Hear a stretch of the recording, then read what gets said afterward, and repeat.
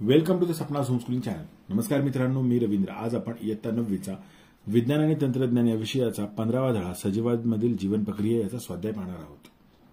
तर स्वाध्यायामधला पहिला प्रश्न काय? योग्य जोड्या जुळून त्याबाबत स्पष्टीकरण लिहा. तिथे स्तंभ अ दिलेला आहे स्तंभ ब दिलेला आहे. ओके तर आपण या जोड्या जुळवल्याची उत्तर आहेत ती पाहूयात आता. तर इथे बघा ही उत्तर आहेत सगळी. तर बीजांडाच्या दिशेने होणारी परागनलिकेची वाढ रसायन अनुवर्ती हालचाल. प्रारोह संस्थेची होणारी वाढ.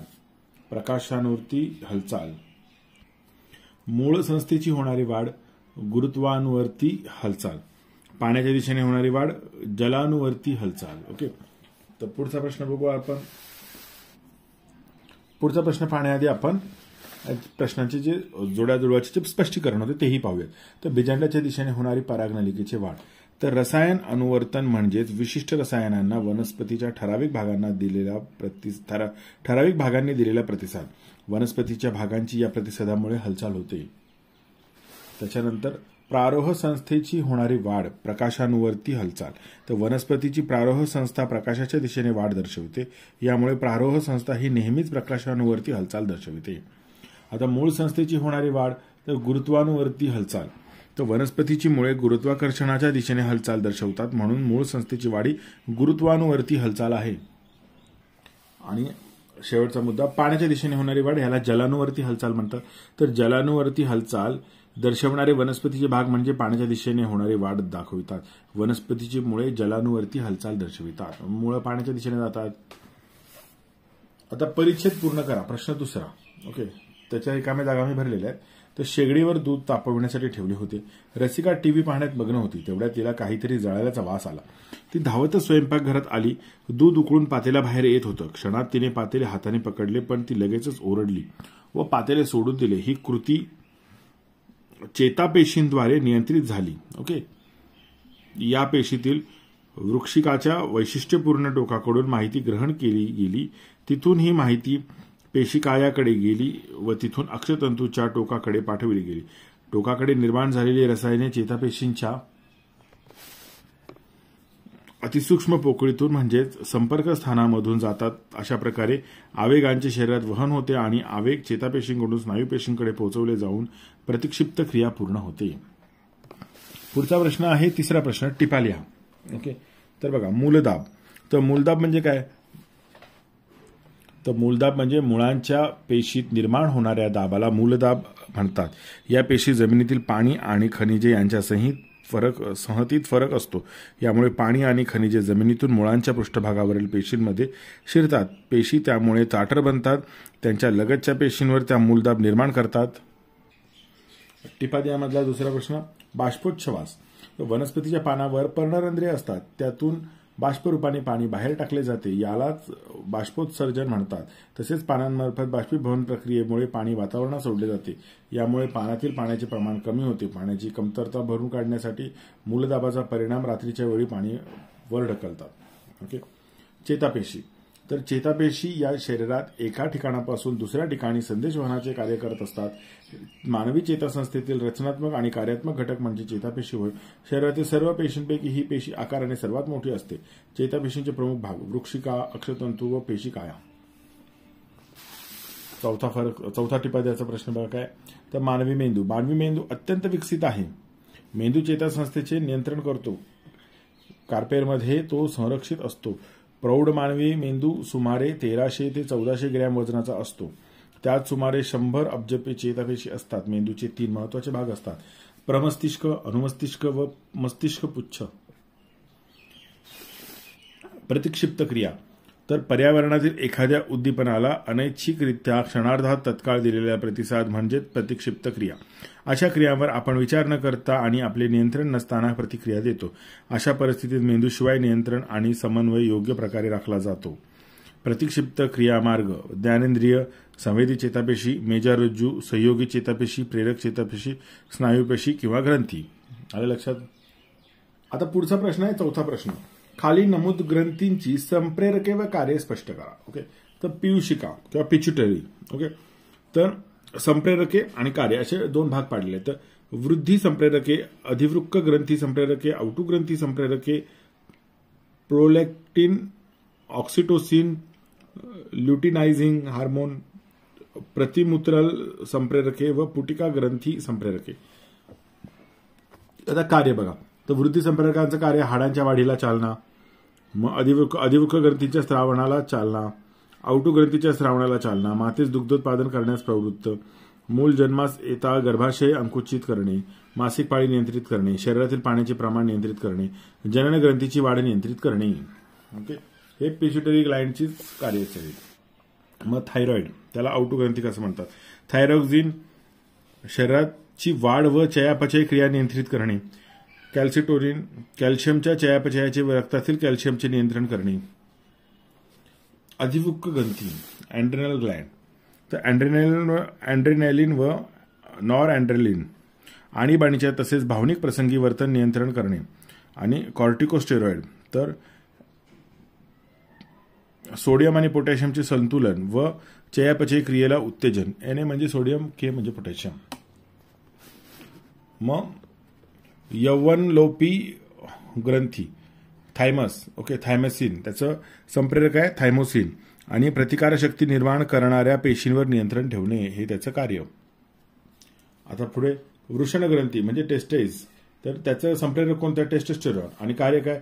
तर पुरुषांच्या दुय्यम लक्षणांचा विकास जसे दाढी मिशा येणे आवाजात घोगरेपणा येणे. त्याच्यानंतर अंडाशय ओव्हरी त्याचं का संप्रेरक कोणतं? इस्ट्रोजन आणि प्रोजेस्ट्रॉन तर स्त्रियामध्ये गर्भाशयाच्या अथस्तराची अंतस्तराची वाढ स्त्रियांच्या दुय्यम लैंगिक गुणांचा विकास करणे गर्भाशयाच्या अंतस्तरास गर्भधारणेसाठी तयार करणे गर्भधारणेसाठी मदत करणे. हे त्याची कार्य. आता पुढचा प्रश्न आहे मित्रांनो की सुबक व नामनिर्देशित आकृत्या काढा. तर या आकृत्या तुम्हाला स्वतःच काढायच्या तर पहिलं काय दिलं मानवी अंतस्त्रावी ग्रंथी. तर पुस्तकामध्ये पान नंबर एकशे शहात्तर वरती ही आकृती आहे. ओके ही आकृती तुम्हाला काढायची ही ते नामकरण पण करायचं सगळ्या नावं द्यायची.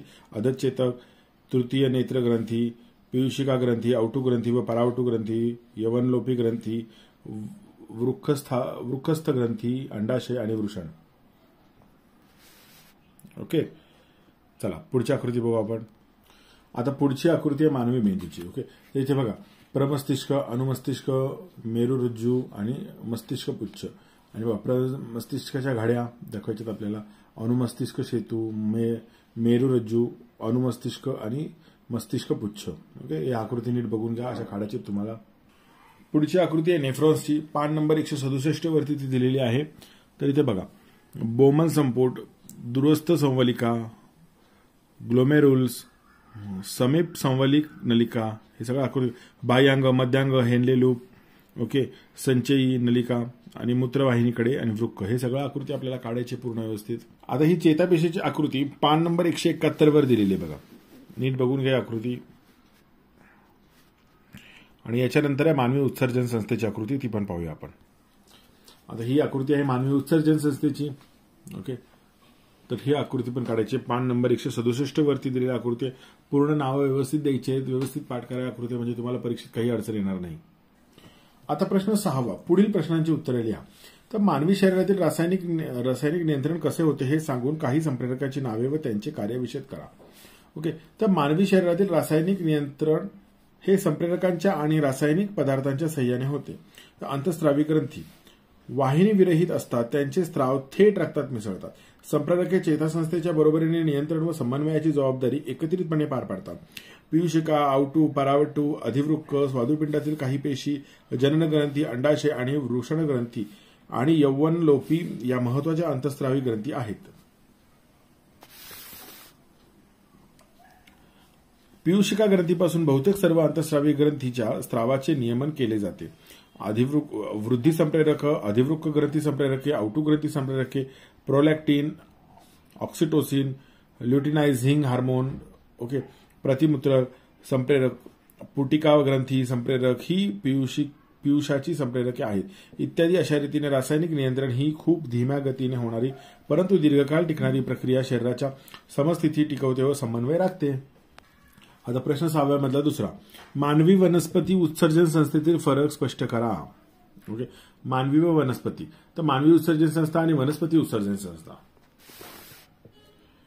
तर इथे बघा. मानवात उत्सर्जित पदार्थ विषारी ठरतात. त्यामुळे ते वेळेत शरीराबाहेर टाकणे आवश्यक आहे. तर वनस्पतीत उत्सर्जित पदार्थ झाडाच्या सालीत साठवून ठेवले जातात. युरिया युरिक व आम्ल ओके? तसंच युरिक ऍसिड म्हणजे आम्ल युरिक आम्ल. अमोनिया हे मानवातील उत्सर्जित पदार्थ आहेत. तर रॅफाइड्स राळ चीक गोंद असे वनस्पती उत्सर्जित पदार्थ आहेत. ओके तर मानवातील उत्सर्जन क्रिया क्लिष्ट असते. त्यासाठी विकसित अवयव असलेली उत्सर्जन संस्था असते. तर वनस्पतीमधील उत्सर्जन क्रिया सोपी असते. वनस्पतीमध्ये टाकाऊ पदार्थ बाहेर टाकण्यासाठी विशेष उत्सर्जक अवयव नसतो. आणि रक्ताची गाळण प्रक्रिया होऊन नायट्रोजनयुक्त पदार्थ बाहेर टाकले जातात. आणि विसरण क्रियेद्वारे वायुरूप पदार्थ बाहेर टाकले जातात. आता तिसरा प्रश्न प्रश्न सहा मधला वनस्पतींमधील समन्वय कशा प्रकारचा असतो याचे उदाहरण स्पष्टीकरण द्या. तर वनस्पतीमध्ये प्राण्यांप्रमाणे चेतासंस्था किंवा स्नायू संस्था नसतात. बाह्य उद्दीपनास प्रतिसाद म्हणून वनस्पतीच्या कोणत्याही भागाची हालचाल होते. काही वेळा वाढ होते. अशा प्रकारच्या हालचाली म्हणजे वृद्धी संलग्न आणि वृद्धी असंलग्न हालचाली म्हणतात. या वनस्पती समन्वय घडून आणतात. आता साध्यातला शेवटचा प्रश्न सातवा प्रश्न तुमच्या शब्दात सोदाहरण स्पष्टीकरण करा. त्यातला पहिला प्रश्न आहे समन्वय म्हणजे काय?